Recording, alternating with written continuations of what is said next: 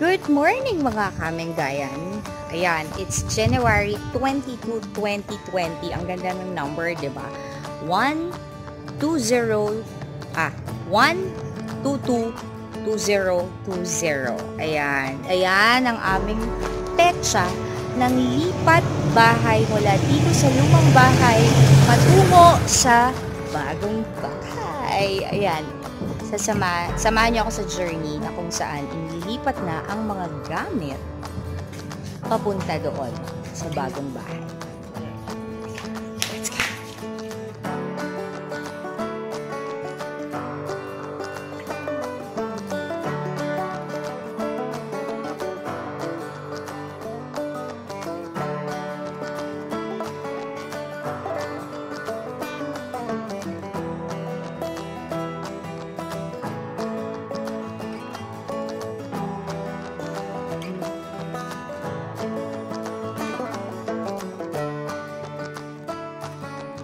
Here we go.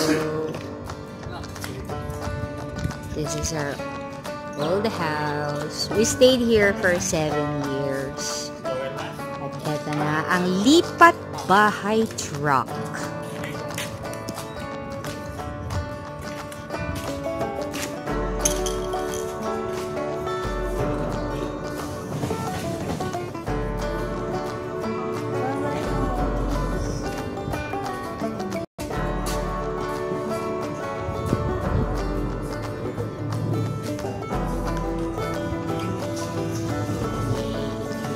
Let's get in. Ang problema namin, paano namin itatransport si Kiko at saka si Kikhay.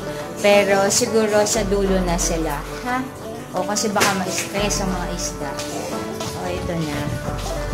Tingnan natin ang bahay na unti-unti nang... Op, kung makikita ninyo, mga kamenggayan, yung aming bahay, eh medyo similar din doon sa bagong bahay. Ayan, may pa-blinds. Yung blinds natin doon sa bagong bahay is um, brown. Dito, ang favorite color ni Mengay, red maroon. Ayan, so pero tatanggalin pa yung mga yan.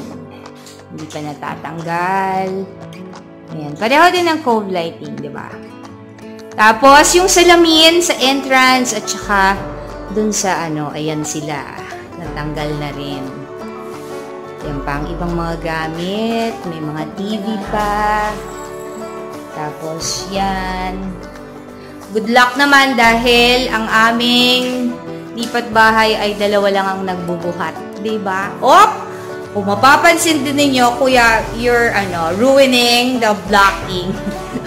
yung counter sa bagong bahay, yan din, di ba? Oh, may pa-bar din. Tapos, ang hagdanan, halos pareho din, paakyat.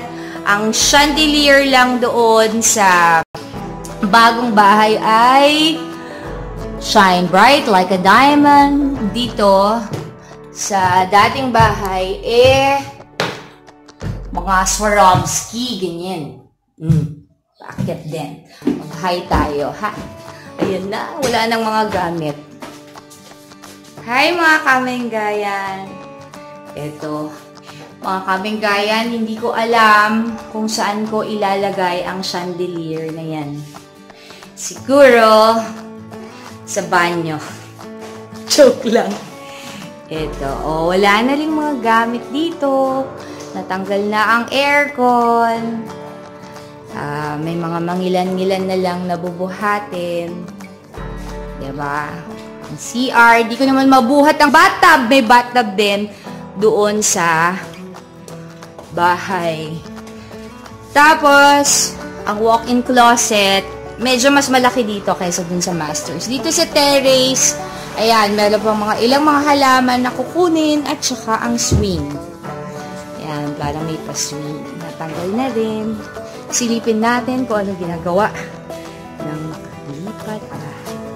Mamimiss ko ang aming community. Bye-bye!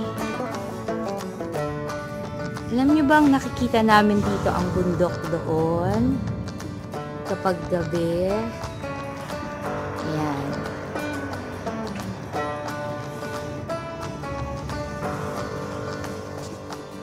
So, wala na. Wala na ang mga damit. Ah, CR, wala na rin lahat ang mga naka-install. Yung salamin, parang dyan na lang siya. Okay, ano pa ba? Ito, hindi na rin naman namin siya matatanggal, yung bunk bed ni Rizzy.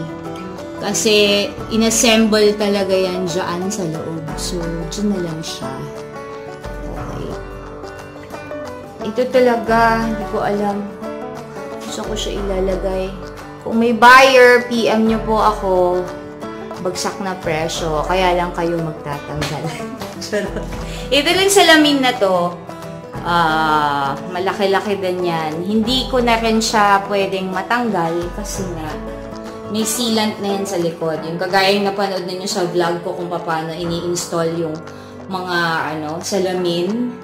Oo, usually may bare naman siya, pero yung likod meron ng sealant, kaya mababasag naman siya kapag tinanggal natin, di ba mga kamanggayan? O, di ba nakikita nyo ba ang similarity ng bahay na ito more or less sa bagong bahay na lilipatan namin. Ayan. Sayang, hindi ko siya na-document kung ano, nandito pa lahat yung mga gamit para makita natin yung pagkakakambal. Pag hindi naman kambal, magkapatid lang sila. Hindi naman kamukha kamukha.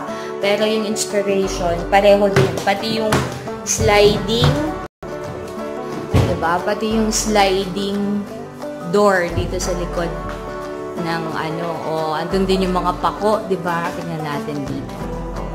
Yan, ganun din. May sliding door dyan. Tapos, meron ding open area parang dun sa bagong bahay. Di ba?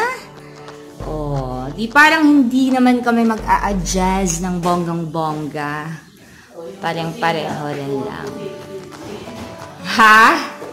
Yung kusina, hindi ko masyadong mapakita kasi Ah, oo, ayan. Black nga lang to. Lahat yan. Puro granite na black. Tsaka walang kahoy. Talagang, ano, black ang, ang aming medyo madilim na. O, di ba? Ayan ang mga listahan ng mga kukunin ng lipat bahay truck. Nakalista. May cove light din, may ilaw din dyan. So, halos pareho din lang. Ito, yung, yung range hood lang, medyo doon magbabago, medyo modern na ng konti. Hindi na ganyan ka-bulky. Diba? Merong pinto. Ay, mama! O, pagod na. Oo. Tapos ito siya, ililipat pa yung mga yan. Ganyan. So, sige, we will see you guys later para sa ating ang door. Oh, medyo iba. Ay, meron pala kami secret door dito. Ito ang aming secret door.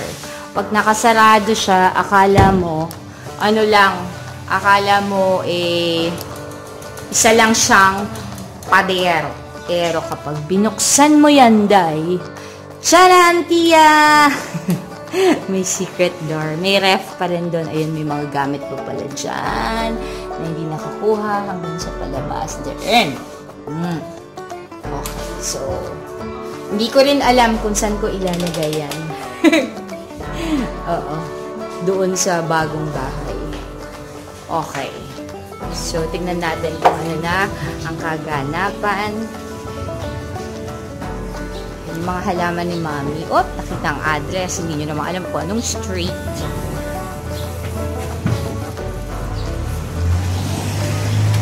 Ano na mga kaganapan, kuya? At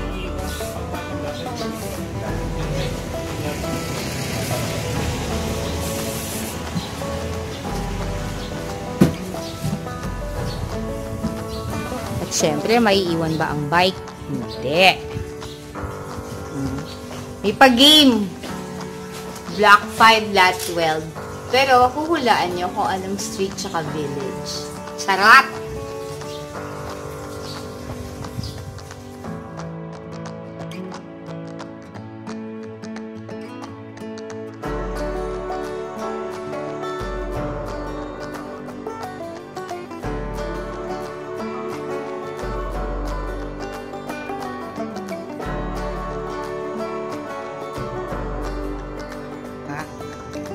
Realization na ang paglilipat bahay pala at ang paglalagay ng gamit sa lipat bahay truck is a mind game.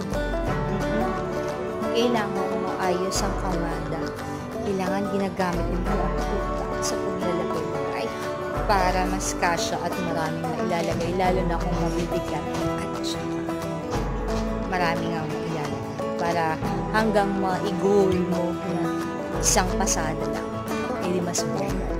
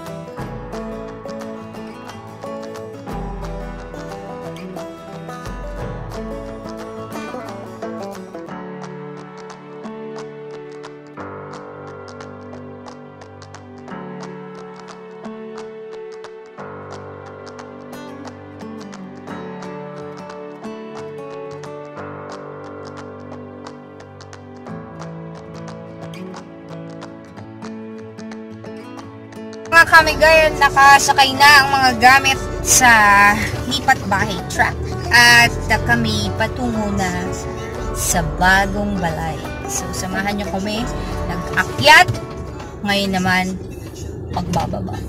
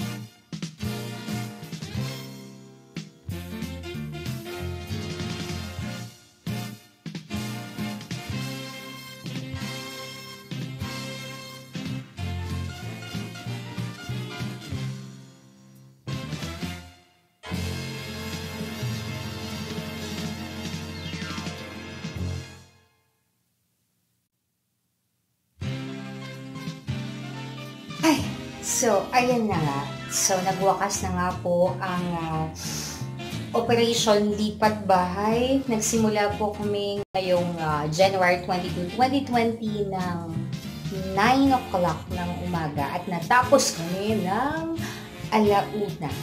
Okay, so may challenge. Oo. Ang challenge eh ito na ngayon ang itsura sa pagkakataong ito ng bahay. Watch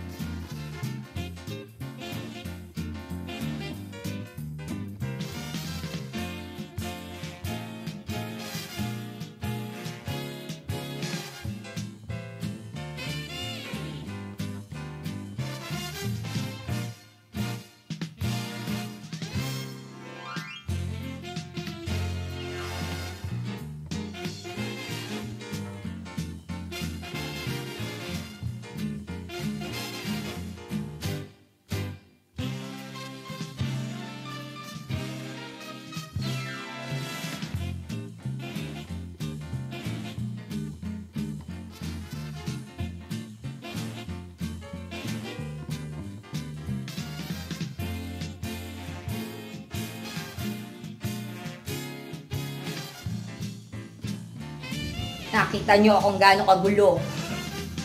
Nakita nyo kung gaano kakalat ang gamit. So, yan.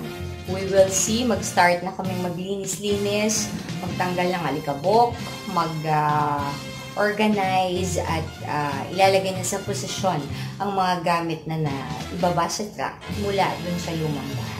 So, abangan ninyo mga kaming gayan, ang maayos, na tahanan ni Mengay. Sana matapos agad-agad, di ba? Tsaka ma-install na yung mga dapat ma-install. So, maraming maraming salamat po muli sa pagsama ninyo sa akin at pagsubaybay sa mga kaganapan ng aking buhay sa pagkakataong ito. Bagong taon, bagong buhay, bagong bahay. Thanks so much mga kaming gaya. I'll see you once again. Don't forget to subscribe, like, share, and comment down below. And uh, until next video, magchikahan pa rin tayo dito sa Mengay Channel. Babush!